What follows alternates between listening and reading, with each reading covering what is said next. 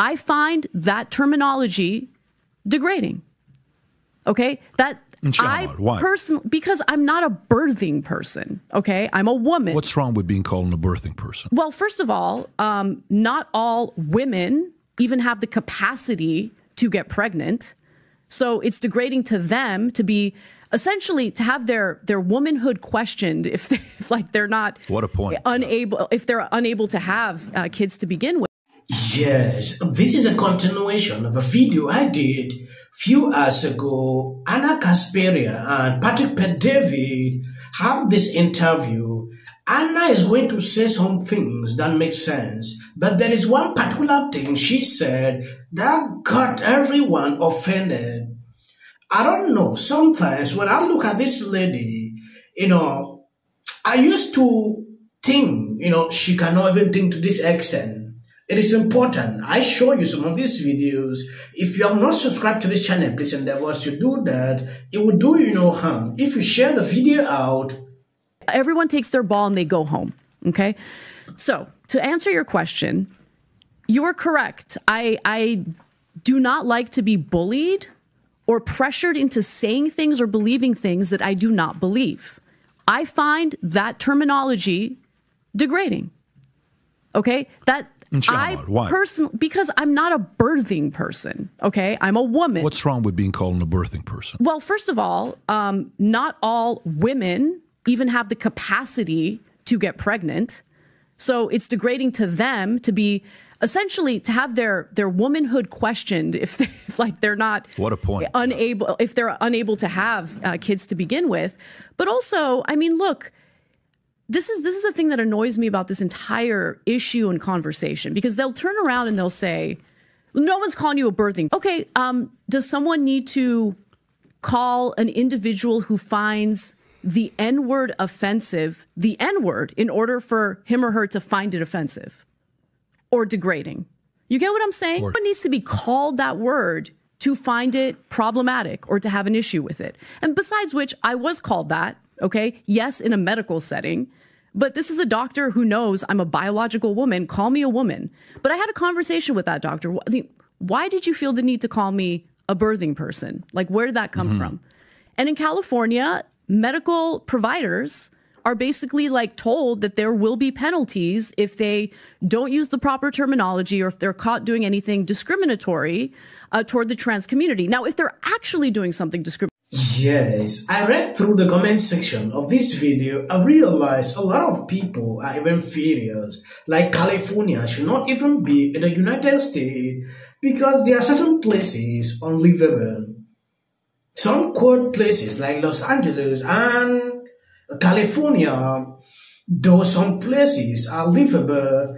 When you take a look at Libras now coming out to call out the way it is, it took them a very long time. They could not do this at first. It is simply because they realize they are losing their audience. So to balance back, it is to have real conversations on things they deem real necessary. Medical providers absolutely should face consequences. But the idea that we should change all of our terminology, even toward women who want to be called women, in order to be inclusive is ridiculous to me. Now, if a trans person wants to be called that, fantastic. I respect it. I'll do it. I'll engage in it. But I think in the context of my relationship with my doctors, I want to be called a woman. It's not that difficult. It is my personal preference. Okay. That doesn't mean that I in any way believe that transgender people should be treated differently or that they should be discriminated against. If you enjoy content like this, then make sure you leave a like and subscribe to the channel. It really does help me out a ton. Let's get back to the video. Or that they should not live lives of dignity. I have had an entire career defending them, supporting them, and this one issue led to ridiculous outrage among a fringe component of that community. They are not representative of the entire Trinity. And for that fringe component, if they think that they're going to shut me up and force me to say things I don't believe, they've got another thing coming. Okay? I'm going to say what I think. Every every single time. Do you think they're crossing the line a little bit and it's getting a little bit too ridiculous in certain sectors? Yes. Okay. Yeah. And they turn people off with it. And, and, and again, it is a fringe component of the trendy, and they don't even realize how counterproductive they're being. And and who's allowed for that to happen? Who's who's been a part of that becoming a reality? Who do you think? Look, I think most people want to do the right thing. Okay. And so they want to be as accepting and tolerant and inclusive as possible. Mm-hmm. And they don't want to come across as being in any way discriminatory. And I respect that. I think that it comes from a good place. But they shut their brains off sometimes and just go along with things without considering maybe some of the unexpected consequences, how others might feel about what they're engaging in. I think that there's this conflation um, with the gay community and the transgender community because think about it. Like I think a lot of people on the on the left think of the trans community the same way they thought of the gay community, right? Like, yeah, why not legalize gay marriage? Like, what's wrong with that? Who's it hurting? But when it comes to some trans issues, there is a lot on the line, right? Like when we do talk about kids, you want to make sure that we have a system in place where there's a proper protocol implemented to ensure that we're not transitioning kids who might not actually be transgender. You think it's okay to transition kids under the age of 18, even if the parents consent What do you mean medically? medically? Anna, you seem very smart to me, and I think you have common sense.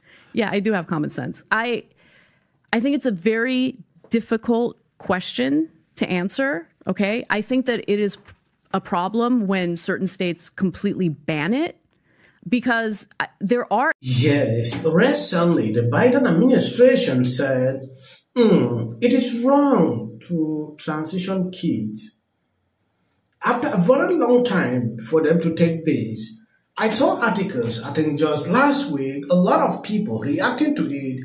This topic is actually not being covered like people used to do simply because of what was happening to people.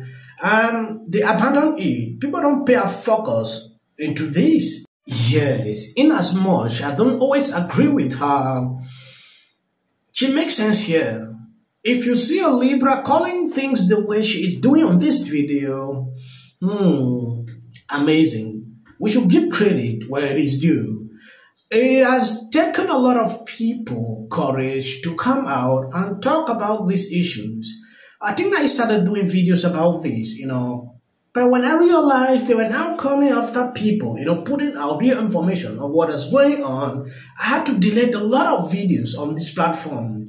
Now taking a look into these issues, California putting up laws, if you do this, you do this, and now saying, oh, I'm a woman, don't refer me like this. I should be able to say what I have in mind. We should applaud her for that. I understand a lot of people disagree with her, but we should look at her sometimes when she said things. Major Insurer gives brutal ultimatum to entire state.